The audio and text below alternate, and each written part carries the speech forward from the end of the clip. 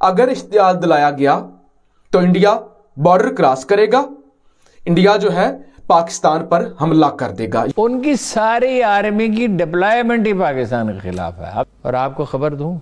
जी। कर रहा है एस फोर हंड्रेड मिसाइल ये रूसी साख्ता दिफाई निज़ाम है। मगर कहाँ पर नस्ब कर रहा है ये? टारगेट क्या है असल में इसका? पाकिस्तान उनकी सारी आर्मी की डिप्लॉयमेंट ही पाकिस्तान के खिलाफ है। अब तो ये फंस गए ना चीन में उन्हें डिप्लॉयमेंट करनी पड़ी है। उन्होंने चीन के खिलाफ कभी डिप्लॉयमेंट अगर की अगर की है तो बरए नाम की है। सारी डिप्लॉयमेंट जब ये चीख रहे थे ना कि पाकिस्तान की पॉलिसी इंडिया सेंट्रिक है तो जनरल कैनी ने एक जो, एक एक जुमले में कहा था, माइकल मोलन से जहाँ तक मुझे याद पड़ता है या किसी और से, कि उनकी आर्मी की ज़रा डिप्लॉयमेंट तो देखें, सारी पाकिस्तान के खिलाफ है। तो वो 320 मिसाइल हैं। मैं डिटेल में नहीं जाता, इतने यूनिट हैं और इतने ये है और वो है। तो वो साढ़े तीन सौ से चार सौ किलोमीटर तक मार कर सकते हैं। और उनका कहाँ कहाँ नजब किए हैं? लाहौर, सियालकोट, यानी हदफ क्या है? मकबूजा कश्मीर, आज़ाद कश्मीर भावल नगर भावलपुर अभी दो यूनिट और करेंगे, कुछ कर चुके हैं, कुछ करेंगे। दो चीन के खिलाफ किए हैं। तो उसने तो लिए, अपना जब तुर्की ने तो वहाँ कानून है। अमेरिका कानून ये है कि उनका उसका नाम ही कानून का ये है कि हरीफों को रोकने के लिए पाबंदियाँ ये उसका तर्जमा होगा ठीक। है?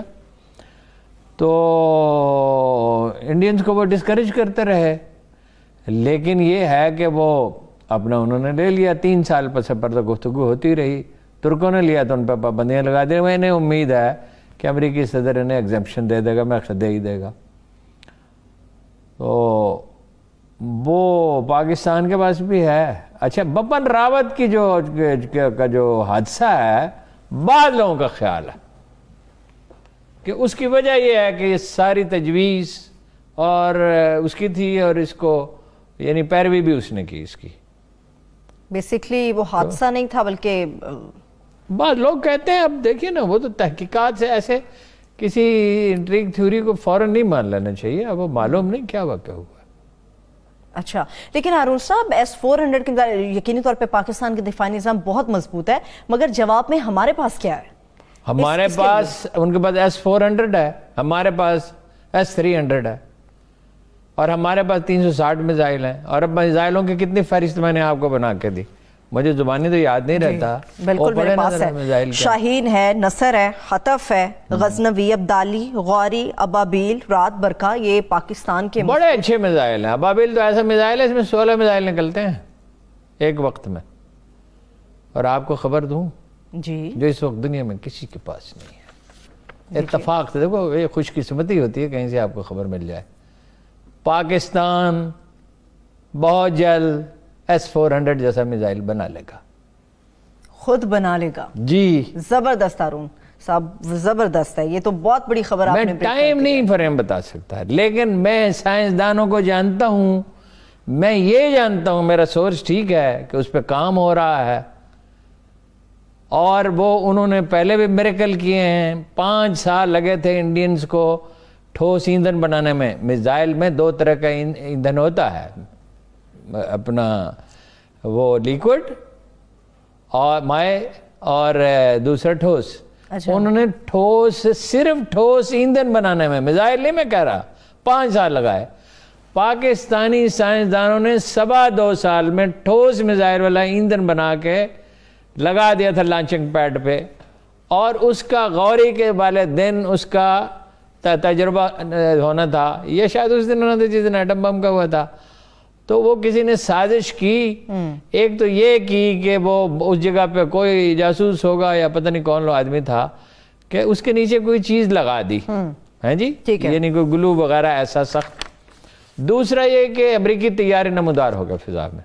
अब वो किस लिए हुए थे ये कब पता नहीं चल सका किस लिए हुए थे। ठीक है। तो वो तजर्बा रोक लिया गया वरना पाकिस्तान बहुत पहले उसका ठीक है आखिरी दो मिनट आ उन सब तीन अहम नुकते हैं। एक तो ये कि आबो हवा या मौसम इस एस फोर हंड्रेड पे कितना असरअंदाज होता है दूसरा भारत होता है ये जो साढ़े तीन सौ से चार सौ किलोमीटर है जोग्राफियाई जो उसकी ये ट्रेन है ज़मीन की नोयत है और मौसम दोनों असरअंदाज होते हैं। ठीक है। हमारा जो है ना ये सौ किलोमीटर तक का है। लेकिन हमारे पास दूसरे मिसाइल हैं। ये जो एस थ्री हंड्रेड हमारे पास जे टेन तैयारे हैं। टैंक हमने बनाया या इंडिया ने बनाया? उनको तो टैंक नहीं बन सका बतख बनी थी। लोहे की एक। और जो उन्होंने तैयारा बनाया उसको उड़ता हुआ कफन कहते थे। तैयारा हमने उनसे बेहतर बनाया है। मिसाइल भी इंशाल्लाह। भारतीय इंडियन हमले का कोई खतरा नहीं है।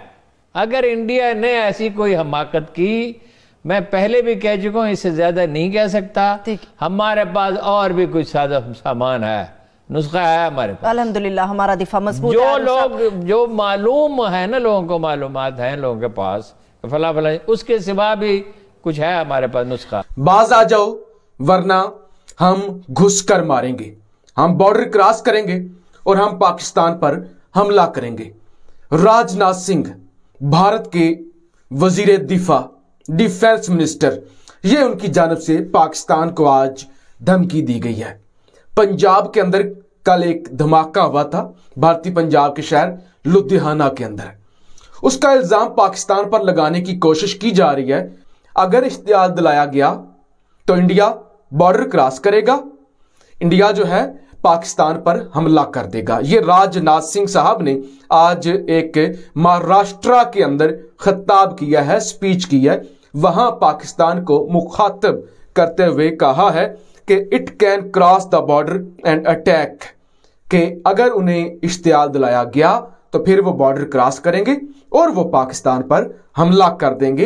ये कहा गया है कि बाज आ जाओ। पाकिस्तान को वार्निंग दी गई है कि बाज आ जाओ।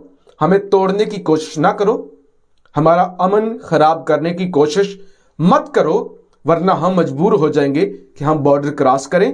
और हम पाकिस्तान पर हमला कर दें। ये आई भारत की सबसे बड़ी न्यूज़ एजेंसी है और भारत ये दावा करता है कि ये एशिया की सबसे बड़ी न्यूज़ एजेंसी है। Rajnath Singh ask Pakistan why it wants to destabilise and divide India Rajnath Singh ने पाकिस्तान से यह पूछा है कि क्यों वह भारत का अमन खराब करना चाहता है? भारत का अमन गैर मुस्तहकम करना चाहता है और इंडिया को डिवाइड करना चाहता है। यहाँ राजनाथ सिंह साहब का कहने का मकसद यह है कि हिंदुस्तान के अंदर जो तहरीकें चल रही हैं, जो मूवमेंट्स चल रही हैं, खासतौर पर पंजाब के अंदर खालिस्तान की, खासतौर पर खासतौर पर कश्मीर की आज़ादी की, या भारत के अंदर जितनी भी तारीखें चल रही हैं, इसके पीछे पाकिस्तान है। यानी पाकिस्तान ये करवा रहा है पाकिस्तान ये चाहता है। तभी राजनाथ सिंह साहब ने आज ये कहा है कि, पाकिस्तान, बताओ तुम्हारा मसला क्या है?